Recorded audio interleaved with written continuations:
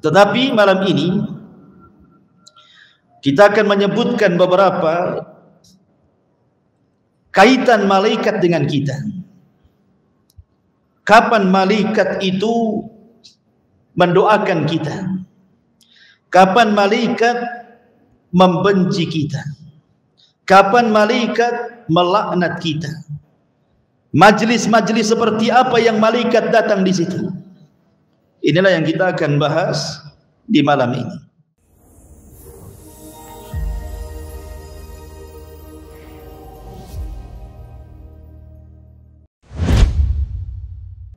Assalamualaikum warahmatullahi wabarakatuh. Alhamdulillah di malam hari ini kembali kita bisa duduk di Masjid Pontrenis ini dan kita masih melanjutkan kajian yang lalu tentang alam para malaikat. Kemarin kita sudah disinggung dalam mukaddimah bicara tentang alam malaikat. Malaikat adalah makhluk dari makhluk-makhluk Allah Subhanahu wa taala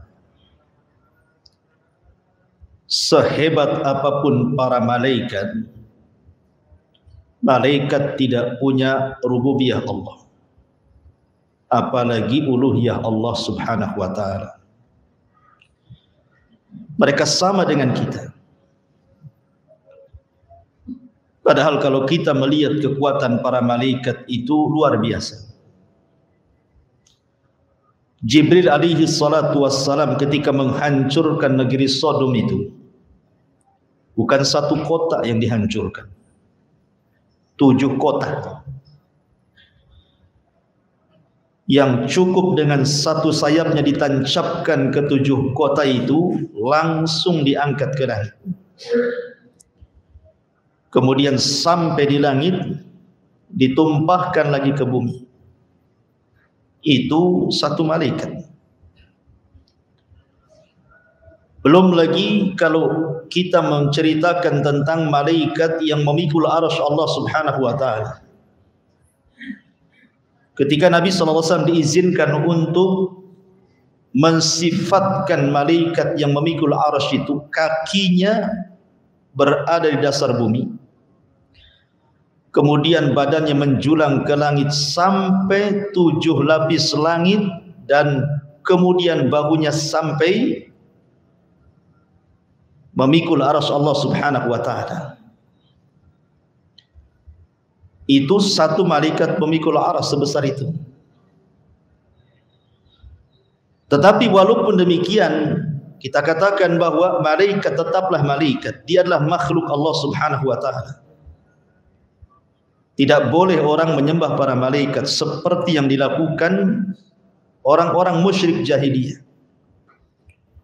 Mereka menganggap bahwa Tuhan-Tuhan yang mereka sembah seperti Lata, Uzza, Manat dan yang semacamnya mereka mengatakan itu banatullah, anak-anak putrinya Allah. Maha suci Allah dari apa yang mereka katakan. Ma'asyiral muslimin yang dimuliakan Allah Subhanahu wa taala. Adapun jumlah para malaikat Maka sering saya katakan berdasarkan firman Allah Subhanahu wa taala, "Wa ma ya'lamu junuda rabbika illa wa ma huwa illa dzikra lil bashar." Tidak ada yang tahu jumlah berapa para malaikat kecuali Allah Subhanahu wa taala. Ketika Nabi sallallahu alaihi wasallam menyebutkan malaikat yang menggeret jahanam saja, di mana Rasul mengatakan jahanam itu memiliki 70 tali kekang. Setiap satu kali tali kekang itu yang menggeret berapa malaikat? 70 ribu. 70 ribu kali 70 ribu. Itu baru yang menggeret jahanam khazanatun nar namanya. Malaikat-malaikat penjaga neraka. Sebanyak itu tuh. Makanya Nabi Shallallahu Alaihi Wasallam ketika mengatakan Attatis sama langit karena saking beratnya yang di atasnya itu sampai attatis sama sampai mengeluarkan suara langit itu saking beratnya para malaikat yang ada di atasnya. Wa huqqala dan sudah berhak langit itu mengeluarkan suara seperti itu Kenapa? Karena Nabi SAW mengatakan setiap empat jari di langit itu ada malaikat yang berdiri sampai kiamat. Ruku sampai kiamat, sujud sampai kiamat. Apabila ditiupkan sangkakala, baru mereka kemudian menengadahkan wajah-wajah mereka kepada Allah dan mengatakan, Ya Rab, ma na'buduka haqqa ibadati ma na'buduka haqqa ibadatika. Ya Rab kami minta maaf kami belum mampu betul-betul menyembah. Padahal sudah sujud dari awal penciptaan sampai kiamat ngomong gitu dia. Kami belum mampu betul-betul menyembah diri. Apalagi kita. Harusnya kata-kata itu kita yang ngomong. Belum lagi Nabi Shallallahu Alaihi Wasallam pernah melihat Baitul Makmur satu hari di Baitul Makmur malaikat yang masuk tawaf itu sebanyak 70 ribu. Kemudian tawaf beribadah keluar tanpa kembali. Besoknya malaikat datang dengan jumlah yang sama tapi malaikat yang lainnya. Dan seperti itu setiap hari pergantian malaikat sebanyak 70 ribu para malaikat yang tawaf di Baitul Makmur. Dan malaikat tidak ada yang berdosa.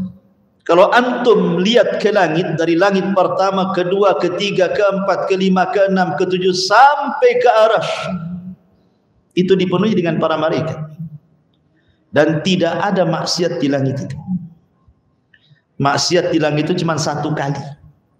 Ketika iblis tak mau sujud kepada Adam itu saja. Selepas itu tidak ada maksiat di langit. Karena para malaikat itu wa yaf'aluna ma marun. Mereka melakukan apa pun yang diperintahkan Allah Subhanahu wa taala. Dan mereka adalah para tentara Allah. Dari sini menunjukkan keagungan Allah.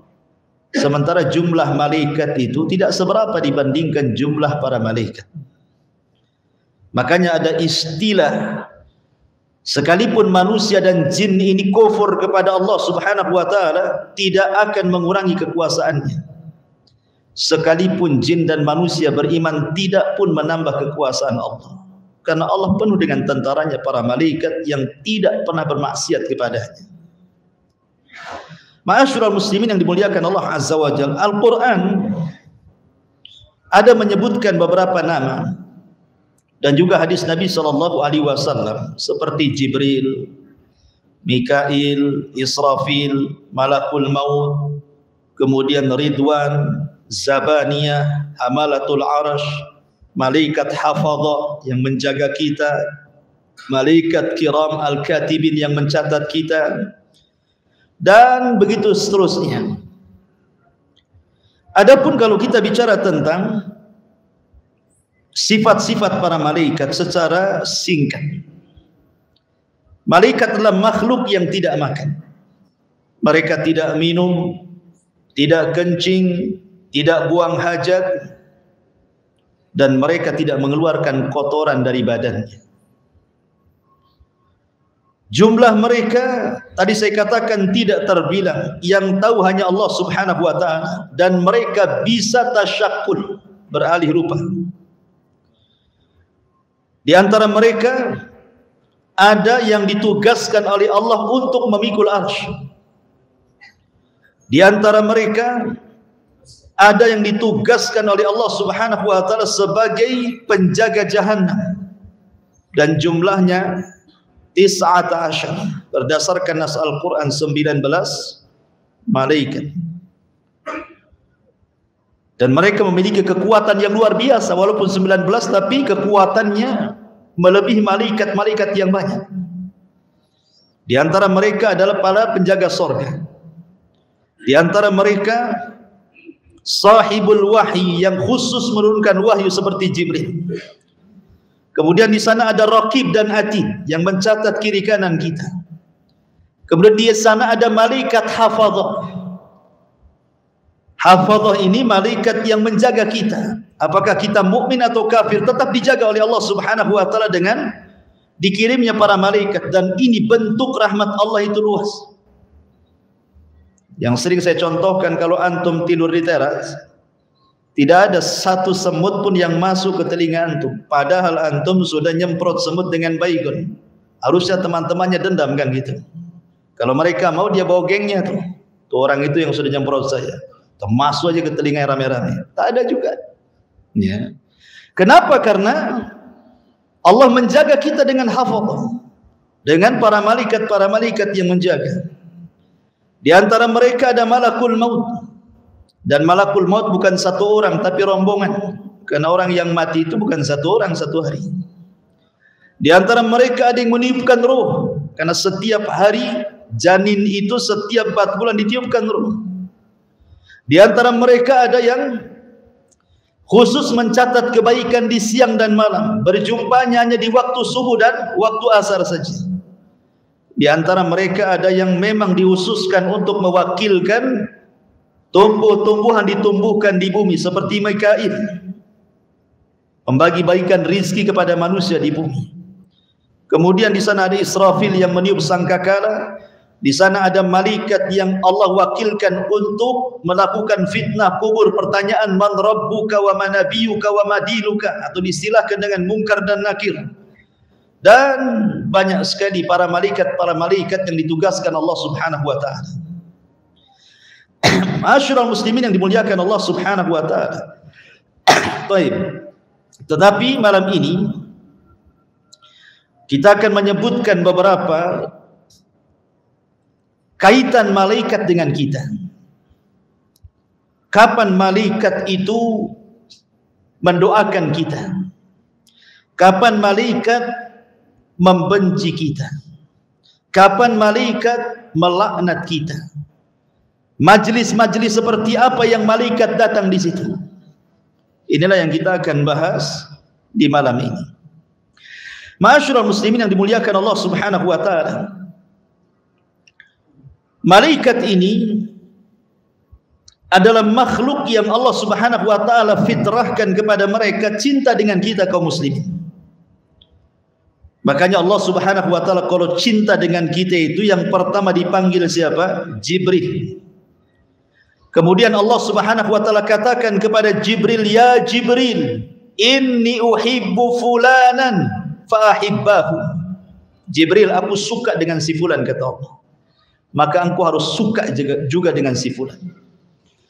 Maka Jibril memanggil seluruh malaikat yang ada di bumi, yang ada di langit dan yang sedang bertugas dimanapun dan mengatakan, Ya malaikat Allah, Inna Allah ahabba fulanan fa'ahibbuhu.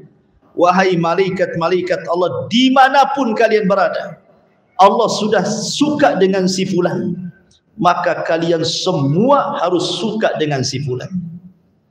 Maka ketika itu Allah subhanahu wa ta'ala menanamkan kecintaan kepada si fulan tersebut. Kecintaan penduduk langit dan kecintaan penduduk bumi. Dengan sebab itu Allah tanamkan dua kecintaan. Kecintaan penduduk langit maksudnya para malaikat, kecintaan penduduk bumi maksudnya manusia dan jin. Lalu apa faedahnya antum dicintai malaikat itu? Dan apa faedahnya antum dicintai manusia?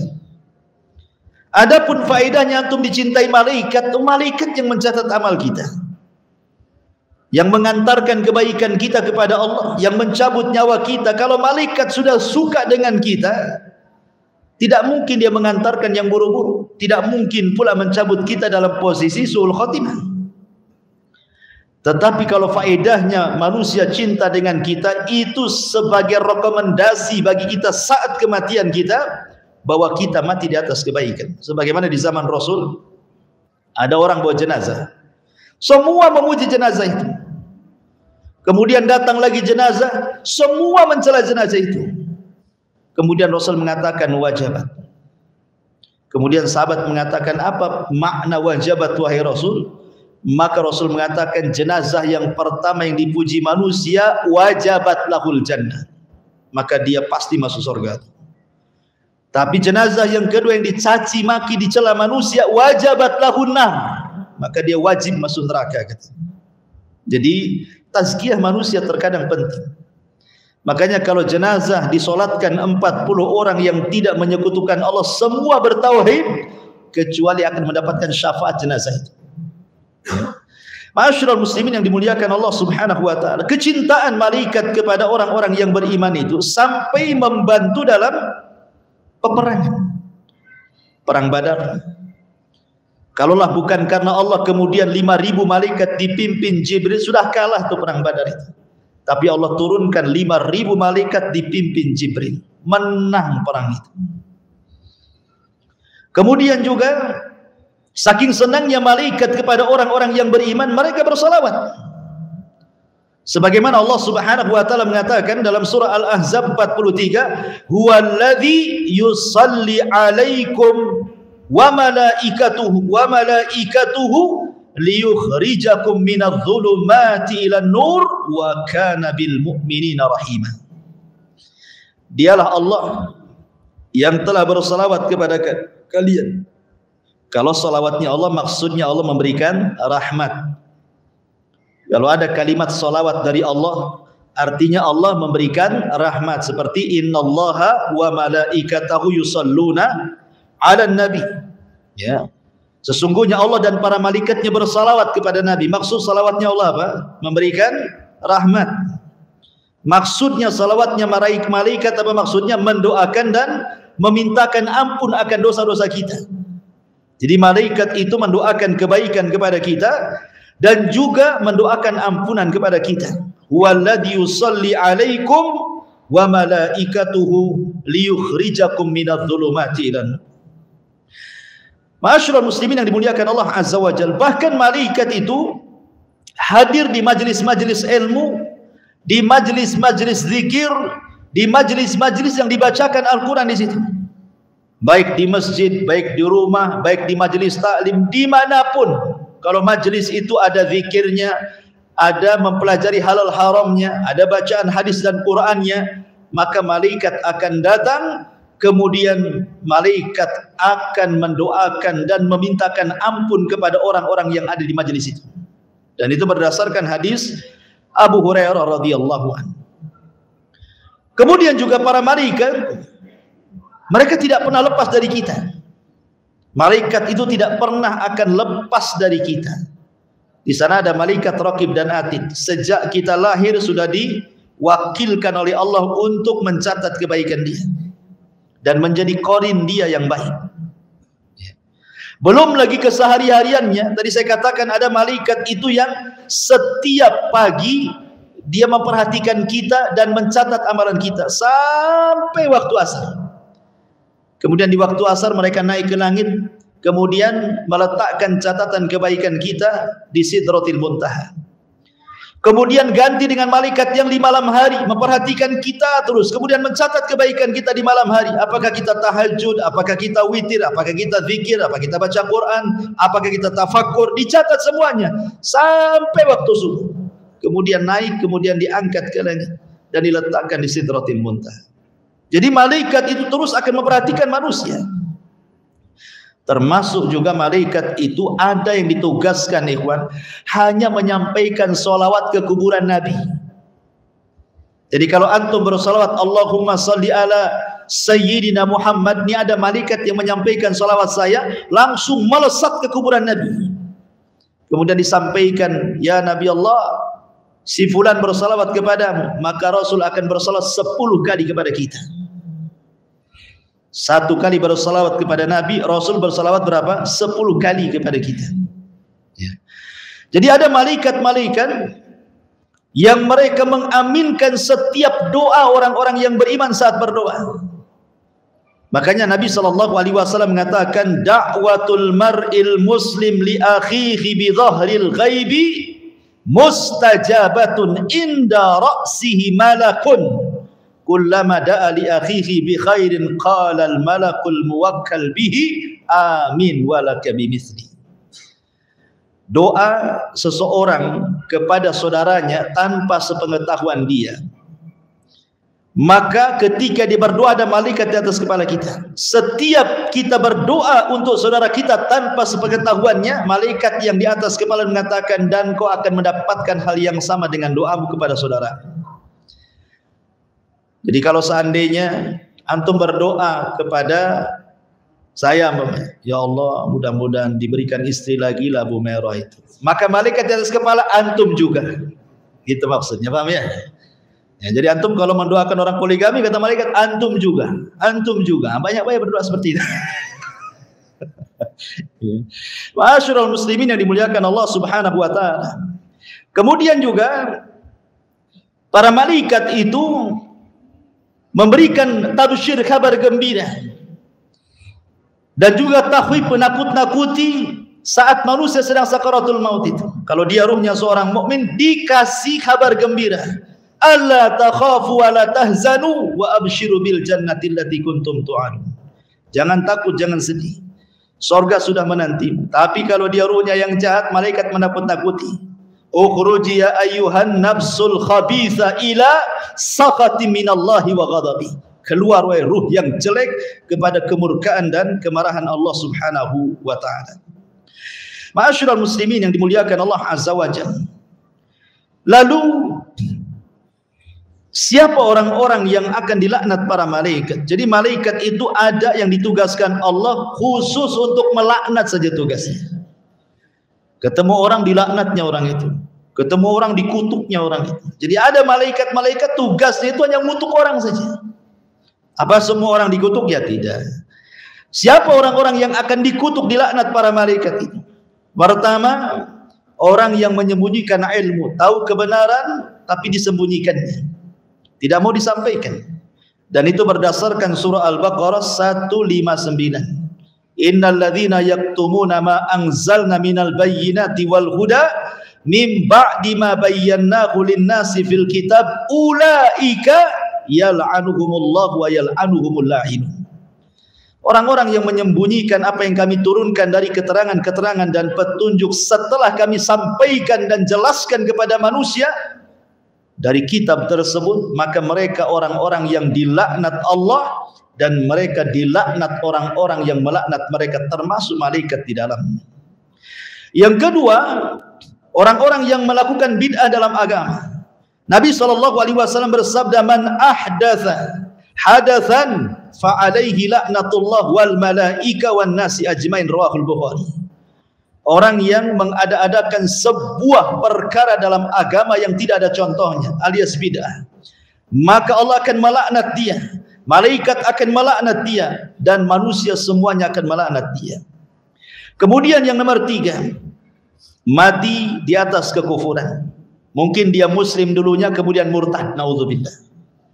Maka orang-orang yang mati di atas kekufuran maka Allah Subhanahu wa taala katakan dalam surah Al-Baqarah 161 innal ladzina kafaru wa matu wa hum kufar ulaika alaihim la'natullah wal malaikati wan nasi ajmain orang-orang yang kafir kemudian mati di atas kekafiran maka mereka dilaknat Allah dan para malaikatnya dan seluruh manusianya hati-hati orang murtad kalau mati di atas kemurtadannya maka dilaknat para malaikat kemudian yang keempat orang yang mencela para sahabat seperti orang-orang Syiah mencela banyak para sahabat bahkan mengkafirkannya. Layak mereka dapat laknat malaikat.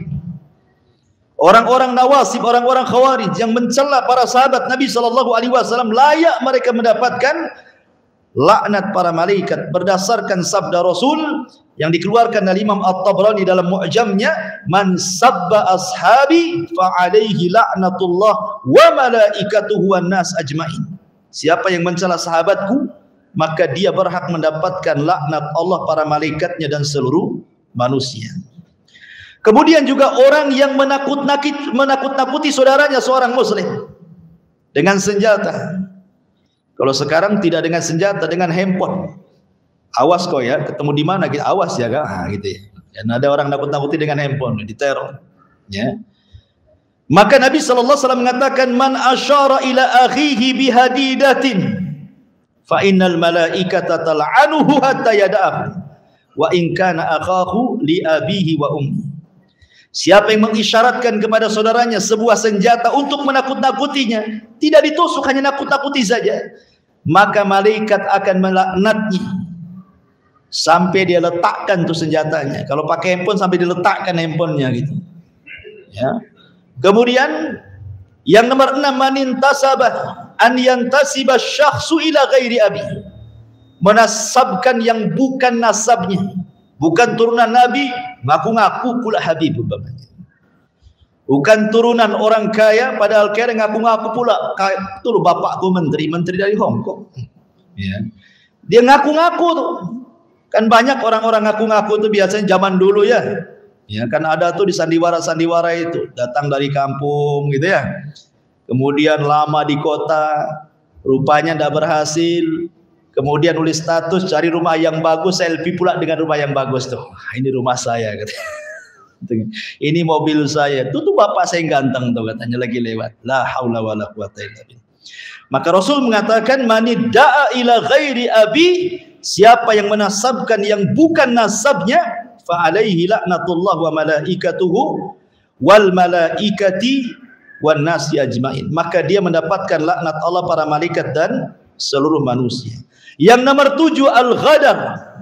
Orang yang berkhianat. Diberikan amanah dia khianat. Maka ini pun dalam riwayat Bukhari Muslim, fa'alaihi la'natullahi wal malaika. Dia akan mendapatkan laknat Allah dan para malaikatnya. Yang nomor delapan, irtikabul fasad wa zulmi. Melakukan kerusakan dan kezaliman. Zalim, zalim itu macam-macam mengambil hak orang lain, ya menggibah, mencaci, memaki dan begitu seterusnya zalim. Atau merusak bumi, menebang hutan yang merupakan penghijauan akhirnya ditebang akhirnya banyak bencana dan begitu seterusnya. Maka orang-orang yang seperti ini maka Nabi SAW mengatakan fa'alaihi la'natullahi wal malaikati wan nasi ajmain. Muttafaqun alaihi. Yang mendapatkan laknat Allah malaikatnya dan seluruh manusia. Yang nomor sembilan, mualatu ghairi sayyid alladhi manna 'alal muslim bil hurriyati wal idki. Mungkin seorang budak loyalitasnya tidak diberikan kepada tuannya tetapi kepada orang lain. Ini pun dilaknat. Termasuk juga yang nomor sepuluh, seorang wanita yang menolak ajakan suaminya untuk berhubungan. Maka wanita ini akan dilaknat sampai dia subuh. Kalau dia tidak bertobat kepada Allah Subhanahu wa taala termasuk juga orang yang berhukum dengan hukum selain Allah Subhanahu wa taala berdasarkan riwayat Imam Ahmad mereka pun orang-orang yang dilaknat Allah Subhanahu wa taala dan para malaikatnya. Inilah orang-orang yang dilaknat. Sekarang orang-orang yang didoakan para malaikat. Orang-orang yang didoakan kebaikan, malaikat beristighfar kepadanya, siapa mereka? Yang pertama, mereka adalah orang-orang yang tidur dalam posisi tahir, suci. Jadi sebelum tidur antum berwudu. Ya, tidak masalah. Ustaz saya sudah berhubungan dengan istri berwudu saja. Karena Nabi sallallahu alaihi wasallam pernah berwudu, kemudian menggauli istrinya, berwudu lagi, menggauli istrinya dan begitu seterusnya. Nah, padahal wudu itu kan menghilangkan hadas kecil. Kalau dia melakukan hadas besar kan secara otomatis batal kan? Wudu untuk tidur berbeda hukumnya. Itu sunnah wudu saja. Ya, supaya untuk menyemangati kita juga dan tidak didekati setan saat kita tidur. Apalagi dia memang tidak melakukan hubungan kemudian dia berwudu betul-betul ingin membersihkan dari hadas besar dan hadas kecil, maka disebutkan dalam sahih targhib dan tarhib man bata tahiran bata fi syiarihi malakun siapa yang tidur dalam posisi suci tidak ada hadas besar dan kecil maka para malaikat akan berada di samping kiri kanannya. Setiap dia guling ke kanan malaikat sebelah kanan mengatakan Allahumma gfir lahu Allahu Allahumma arhamhu ya Allah ampuni dosa orang ini. Ya Allah rahmati orang ini. Berguling lagi ke kiri sebelah kirinya mengatakan yang sama. Ya Allah ampuni orang ini rahmati orang ini. Sampai dia bangun dia Bangun saja jadi ibadah, ikhwan. Eh, tidur saja jadi ibadah.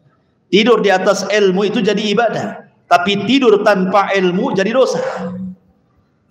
Ya kan? Tidur di atas ilmu tahu nih Kalau saat tidur antum didoakan malaikat kiri dan kanan, ketika itu tidur antum jadi ibadah. Dan mimpi-mimpinya pun pasti enak itu.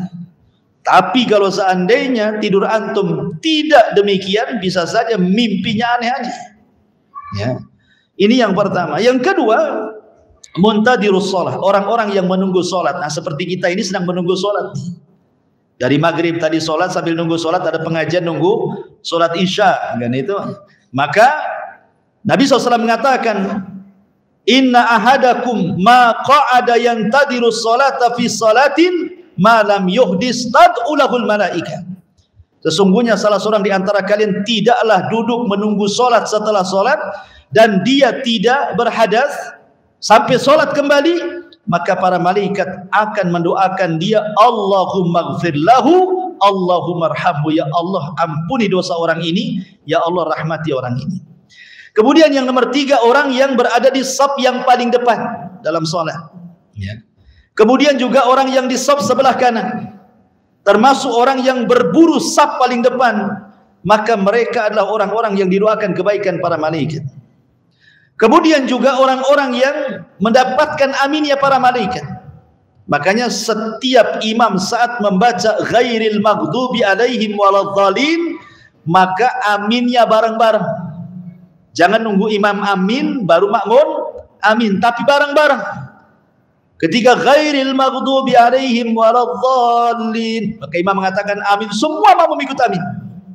Kata Nabi sallallahu alaihi wasallam, barang siapa yang takmin dia, amin dia, cocok dengan aminnya malaikat dalam satu waktu, Allah ampuni dosa-dosanya. Malaikat akan mendoakan ampunan kepadanya.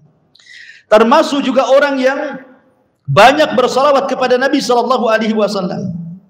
Termasuk tadi saya katakan doa kepada orang yang antum tidak tahu bahwa antum sedang doakan dia. Termasuk juga orang yang infak di jalan Allah setiap pagi malaikat turun kemudian mengatakan Allahumma ati munfiqan khalafa wa yaqulul akhar Allahumma ati mumsikan talafa. Ya Allah, kasih tambah rizki tuh, tuh si anu tuh yang sudah berinfak. Ya Allah tahan rizki si anu tuh, tuh bakhil tuh. Malaikat akan ngomong begitu setiap pagi. Coba bayangkan setiap pagi. Makanya saya lihat kemarin ada celengan di sini. Ah bagus tuh.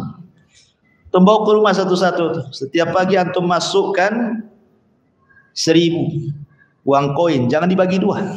Ya, kalau bagi dua nggak laku tuh. Satu seribu malaikat tiap hari antum didoakan malaikat pada seribu perak tuh. Ya kan? Tok tok tok. Ya pertanyaannya kapan jadi masjidnya itu? kalau seribu-seribu. Tidak apa-apa lah yang penting antum didoakan para malaikat ya. kemudian juga di antaranya adalah mana ada maridan. Orang yang mengunjungi orang sakit subhanallah. Orang yang mengunjungi orang sakit ini luar biasa. Kata Nabi SAW man ada maridan. Barang siapa yang dia mengunjungi orang sakit syayya'ahu sab'una alfa malakin. Di belakang antum itu diikuti 70 ribu malaikat. Ya. Ustaz, susah cari orang sakit. Kata siapa? Di rumah sakit banyak orang sakit. Tiap hari aja antum rumah sakit bawa apa gitu. Enggak kenal Ustaz, sudahlah kasih aja kan itu. Yang penting 70 ribu mendoakan antum dari belakang. Ya. Jadi kalau ada orang sakit ikhwan kita itu senang harusnya. Ayo kita kapan ke sana? Supaya diikuti 70 ribu malaikat semuanya memintakan ampun kepada antum. Luar biasa ikhwan. Ya. Semuanya memintakan ampun yang 7 ribu malaikat itu ya Allah ampuni orang ini ya Allah ampuni orang ini. Sampai dia kembali setelah mengunjungi orang sakit kalau setiap hari luar biasa. Ya. Kalau setiap hari bengkrap loh Ustaz. Harus bawa jeruk bawa ini bawa itu kan itu. Jangan pikir itu Allah ganti nanti. Kenapa? Karena kalau orang banyak mengunjungi orang sakit al jaza min jinsil amal. Kalau antum sakit nanti banyak yang mengunjungi antum. Memang begitu balasannya. Karena orang sakit itu bukan sakit karena penyakitnya, sakit karena nggak dikunjungi biasanya. Ya. Taib. Kemudian juga indah tasahur ketika seseorang sahur. Ya, orang sahur itu Pembeda antara puasa kita dengan puasa ahli kita. Makanya Allah dan para malaikatnya dan seluruh penduduk langit dan bumi sampai kepada semut yang ada di lubang sampai kepada ikan yang ada di lautan itu semua mereka mendoakan orang-orang yang sahur, orang-orang yang mengajarkan kebaikan, orang-orang yang belajar talabul ilmi, semua dapat. Kan untung. Ya. Masyurul muslimin yang dimuliakan Allah Subhanahu wa taala, termasuk juga antum yang bermajlis taklim seperti ini.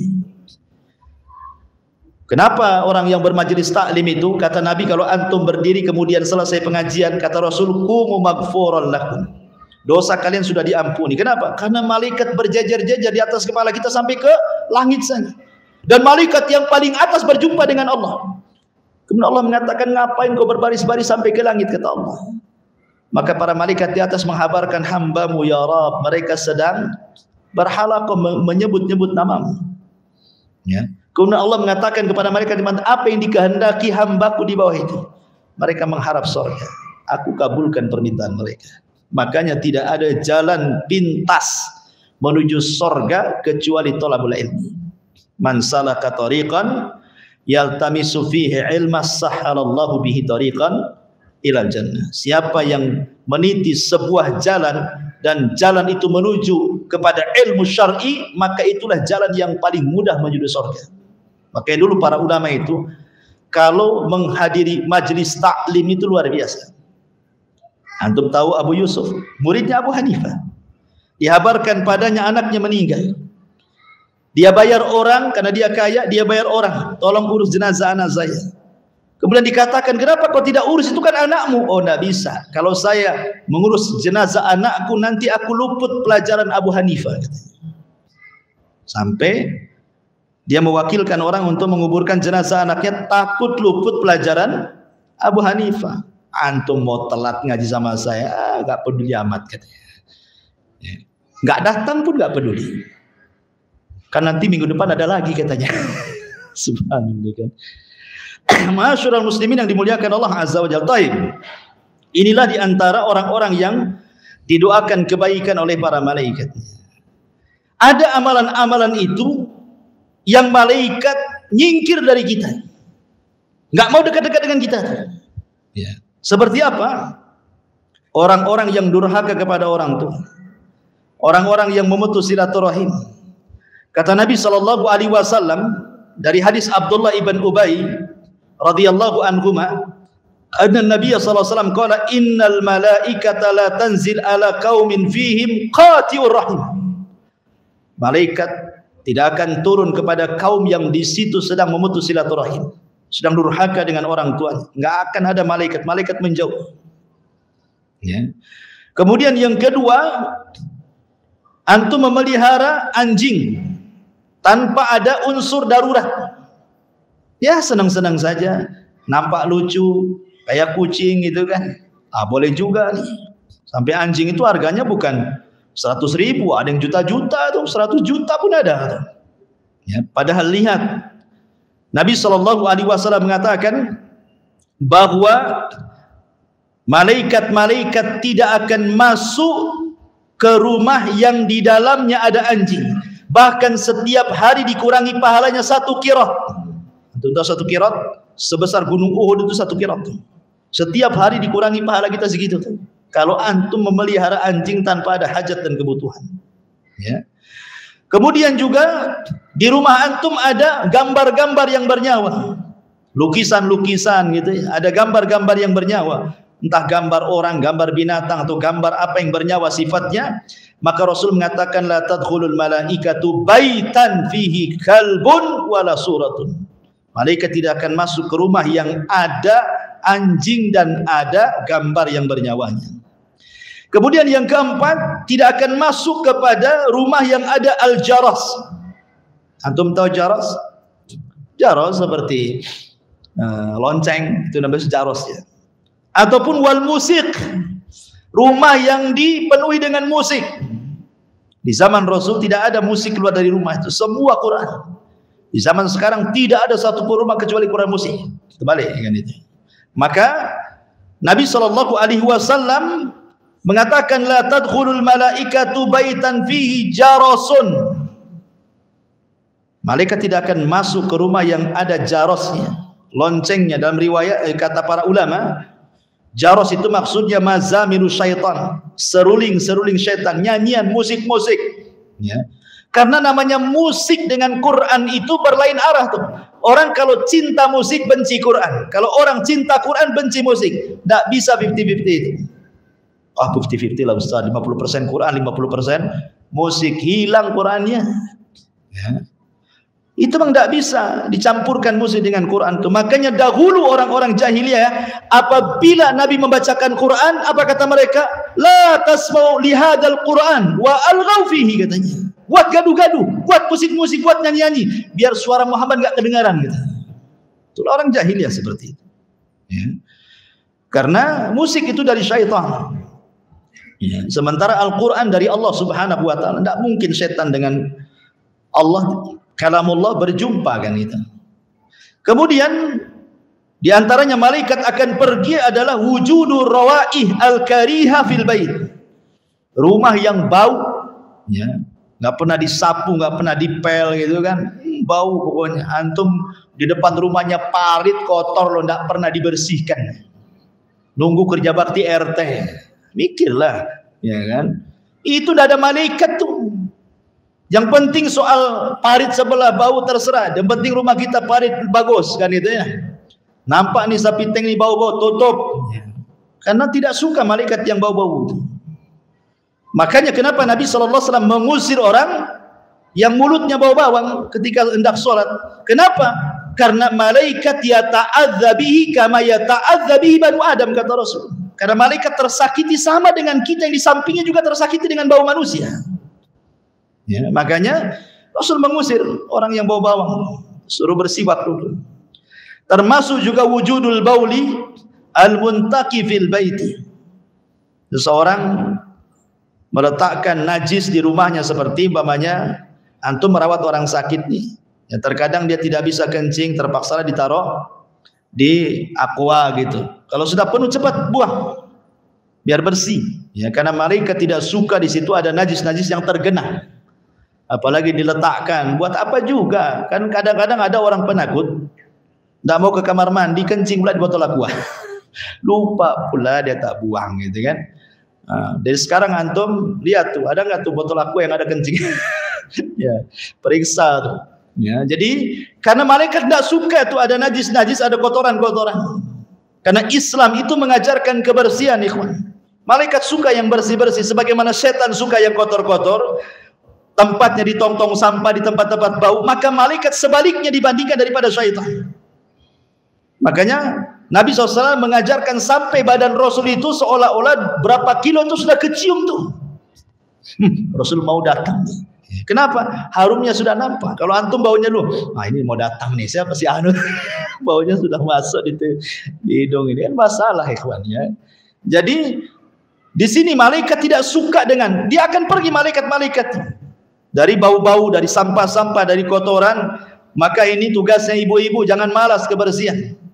Dan tugas bapak-bapak juga jangan ngotori rumah.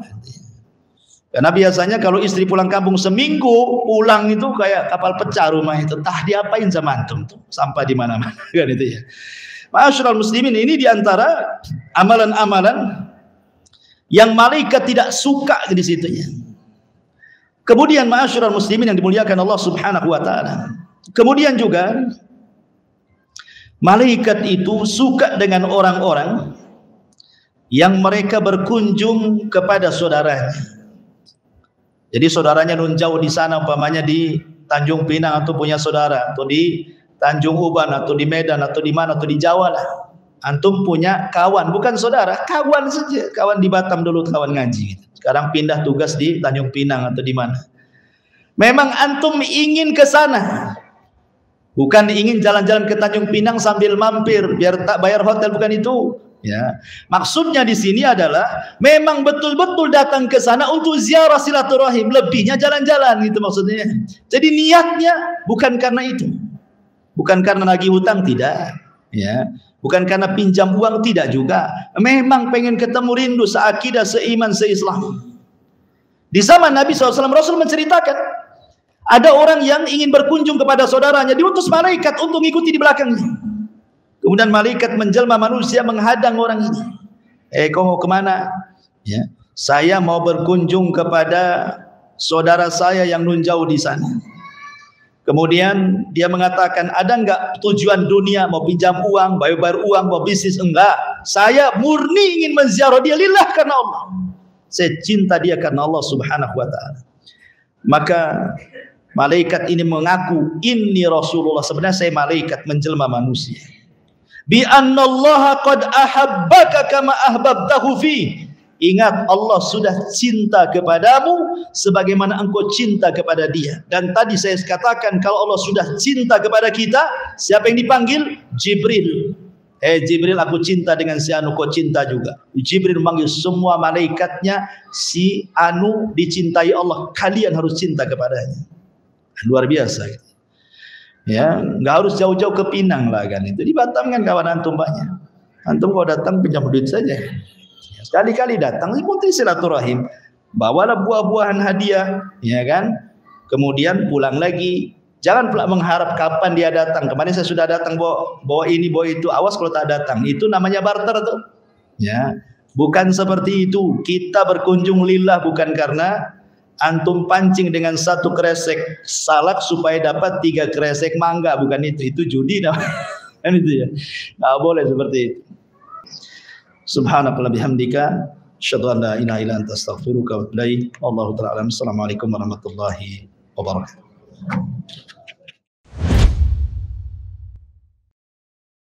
Intinya bahwa tolong berada berakhlak kepada Allah. Membahas tafsir dari surah Al-Imran lahirlah Imam Muslim, Abi Dawud, Tirmidzi, Ibnu Hibban. Jadi ketika Yunus alaihi salatu wassalam terkena undian itu,